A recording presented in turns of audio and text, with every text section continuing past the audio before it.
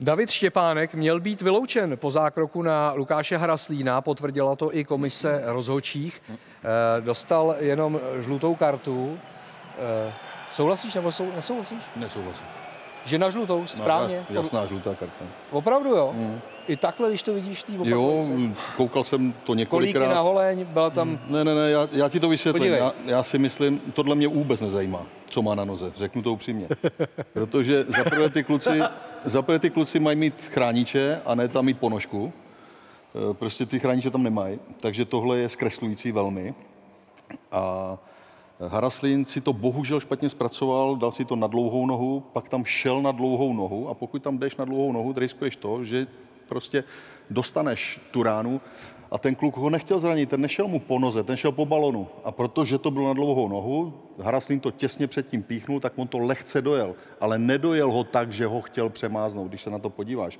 To je úplně jasně vidět. A kdyby mu zlomil nohu? No. Ale teď mu nej- nemůže zlomit, když tam nejde tou, když tam právě jde po balonu jenom lehce, chápeš to? A už se to rozjíždí. Tohle není za mě červená karta. Už se to rozjíždí s boxerem, tak pozor, ne. pokračujte, kluci. Představ si, že mu... Jako takhle, že mu- bol, mu tu holeň bolelo ho to, to Já si, že to určitě, bolelo. protože koliky bolej. Navíc na čistou holeň, když tam nemá chránič, tak tě to bolí.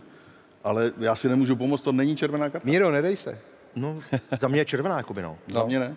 Dokážu si představit, že by ta noha byla klidně zlomená, jakoby. Ale ne, Za mě to teda byla čistá červená, dokud si teda nepromluvil ty. kdyby, kdyby, no, No ne, vážně, jo? protože Vašek řekl eh, mnoho věcí, které jako eh, já jsem vůbec ne- nevzal v potaz. Jedna kolíky eh, a ta na dlouhou nohu, no prostě, teď to, teď to bylo vidět. On vlastně opravdu mu končil po balonu. To, jako, to nebyl žádný úmysl a to, že to má na noze, když nemá chránič, tak to je jasný celkem. Ale a ty chrániče nejsou jako povinná výbava, jo? Jsou povinná výbava, samozřejmě jsou, se, to, se to žulí, protože kluci nechtějí mít na sobě moc Věcí. věcí, aby byly lehčí a tak dále, takže vidím, co mají za flusátka na, Jasně. na tom a to pak stačí brnknout tím kolíkem, No to tak je to tě jasný. bolí jako prase. To je jasný. To je samozřejmě.